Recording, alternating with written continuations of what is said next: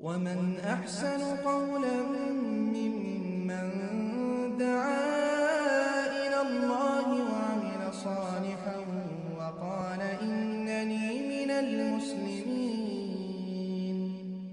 ওয়ালাইকুম আসসালাম রহমতুল্লাহ বরকাত আপনার প্রশ্ন হলো পর্দা করার ক্ষেত্রে মহিলাদের চেহারা আহ, ঢাকা আহ, আবশ্যক কর্তব্য কিনা ফরজ কিনা এবং হাত মোজা পা মোজা আহ, পরা জরুরি কিনা আলহামদুলিল্লাহ ওয়াহদা ওসালাত ওসালাম আলা মাল্লা নবী বাদ বাদ। খুবই ইম্পর্টেন্ট একটি প্রশ্ন।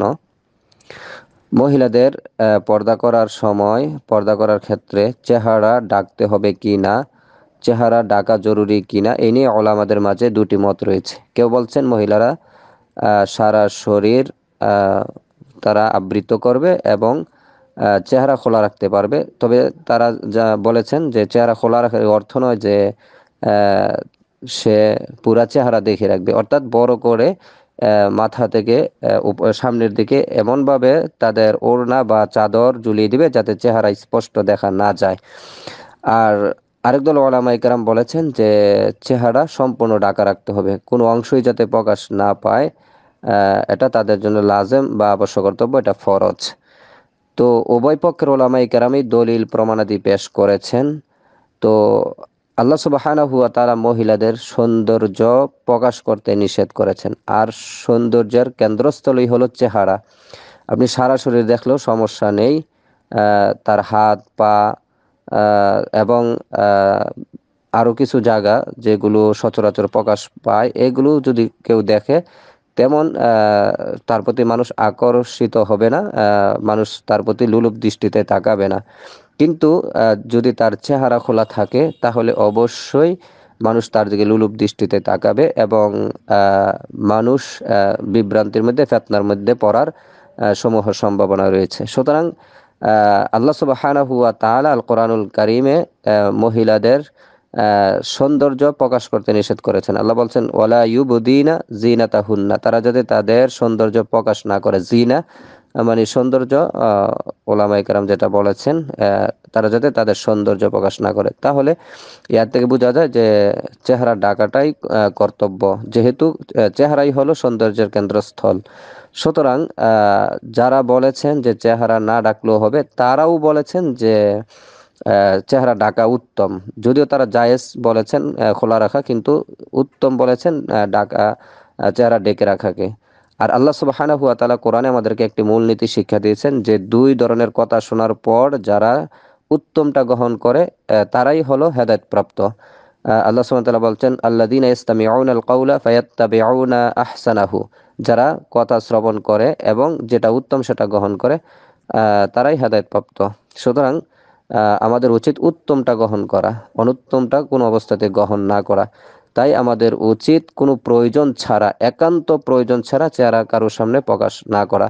এখন আপনি ভোটার আইডি কার্ড করতে গেলেন, আপনি স্কুল, কলেজে অথবা বিদেশে ভ্রমণ করতে গেলেন, অর্থাৎ যেই যেই ক্ষেত্রে ছবি তোলা আবশ্যক কর্তব্য সেটা করতেই হবে, সেখানে চেহারা যদি আপনি খোলেন তাতে কোনো সমস্যা নেই। আপনাকে চেকপোস্টে অথবা বিভিন্ন নিয়ম কানুনের চেহারা দেখে যেগুলোতে চেক করা হয়।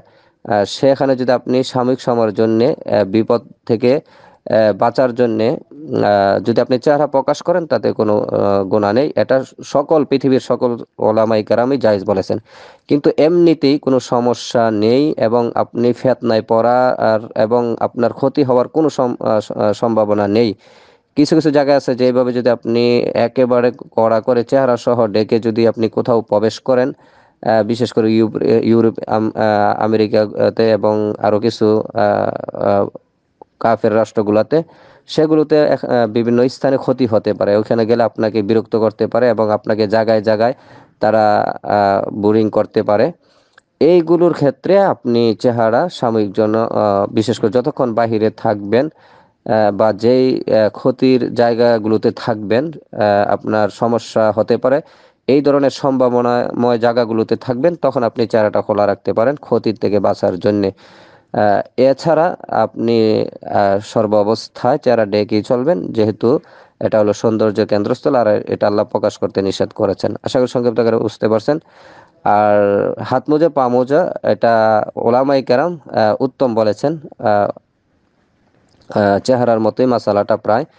সুতরাং উত্তম হলো যদি কোনো সমস্যা না থাকে তাহলে আপনি সেটা ব্যবহার করবেন। আর যদি সমস্যা মনে হয় অথবা এগুলো দ্বারা যেহেতু মানুষ তেমন আকর্ষিত হয় না এবং কোনো পুরুষ ফেতনায় পড়ার তেমন সম্ভাবনা থাকে না এই কারণে এইগুলো খোলা রাখাতে কোনো সমস্যা নেই।